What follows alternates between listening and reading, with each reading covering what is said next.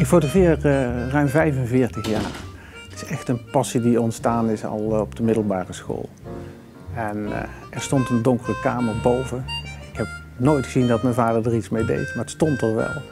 En ik was toch gefascineerd door, door het medium. Als je dan voor het eerst zo'n stuk papier in de ontwikkelaar gooit en er komt echt een foto op, dat is zo fascinerend. En dan wil je daar verder mee.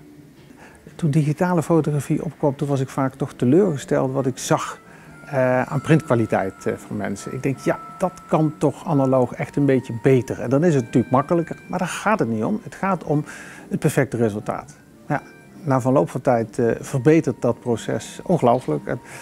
Ik had contact met professionele fotografen die zeiden, Wim, het lijkt wel of je bijna religieus analoog bezig bent. Ik zei, nou, dat is, dat is natuurlijk ook wel niet nodig. Ik vind het gewoon mooier. Tot iemand mij liet zien dat je eigenlijk met de moderne middelen het minstens even mooi kunt doen. En eigenlijk nog scherper en nog makkelijker in situaties met slecht licht kunt werken. Ja. En toen ben ik verkocht. Uh, ik werd door een vriend van mij werd ik, uh, uh, geattendeerd op het fotowerk van, van Wim. Die zei, Jan, zegt die man maakt prachtige foto's. heb jij een moment in, in 2018 waarop, waarop je die foto's kunt laten zien? Ik zei, dat is goed, ik wil, maar ik wil, ze eerst, ik wil het eerst allemaal even bekijken. De Swim kwam hier met uh, vijf dozen vol foto's.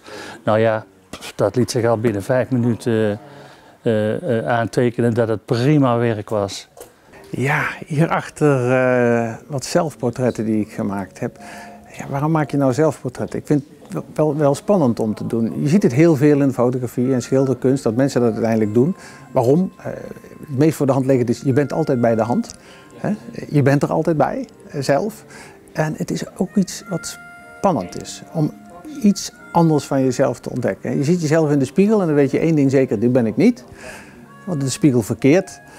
Uh, dan zie je jezelf vaak op familiefoto's, al of niet geforceerd een beetje lachen. Het moet doorgaans lollig zijn. Ik wil ook voor mijn werk nog alles gefotografeerd. Dan is het meer corporate, dan moet het een beetje chic en in stijl. En ik denk, maar ik heb ook andere kanten kan ik dat nou eens laten zien. Een foto die ik tijdens een wandeling in uh, Breda gemaakt heb, in het buitengebied van Breda. Ik had de camera bij me, ik had geen statief dit keer, maar het, is, uh, het was zo'n prachtig licht. En ik denk, met dat licht kan ik iets doen, met het licht uh, en het gezicht. En dit is eigenlijk een, gemaakt als een selfie. Echt zo, de camera in de hand en dan met een groothoeklens en dan kijken hoe het uitpakt. En een beetje doorwerken tot je een mooi resultaat hebt. het was ook al van meet af aan een succes omdat er portretten in zitten. Dat maakt het, dat maakt het uh, heel interessant voor mensen.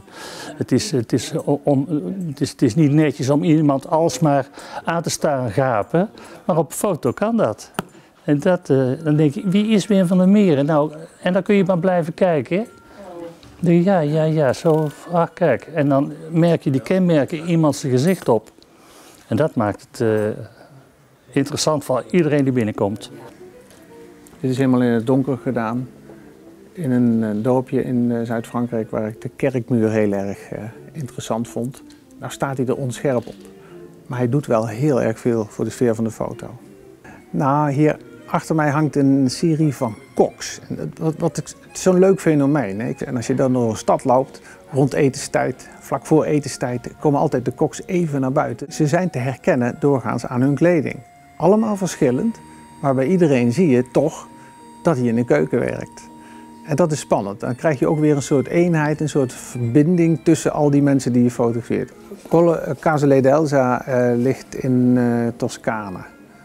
Uh, vlakbij San Gimignano, ja. ja. Een stadje in de buurt van San Gimignano. Wij waren daar bij vrienden, naar de jaarwisseling gevierd.